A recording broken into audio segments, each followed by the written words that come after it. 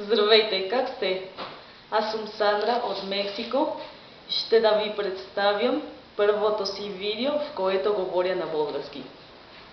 Всеки ден хората ме пита защо реших да уча български, а не немски или португалски. А аз казвам им, че може би предпочитам да уча български, защото на мене ми харесва да уча трудни езици.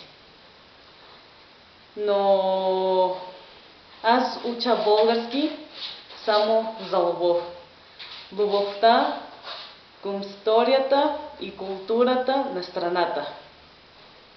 Кога започнах да уча български, аз започнах да уча този език преди една година.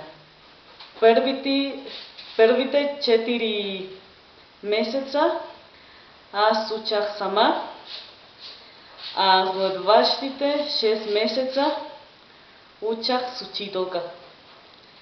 Харесва ми много сесите с учителката.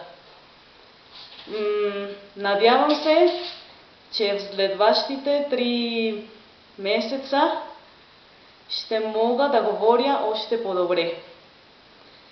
Готово. Това е всичко за сега. Пожелавам ви успех. Да видим скоро и благодаря на сърцето ми. Лека вечер!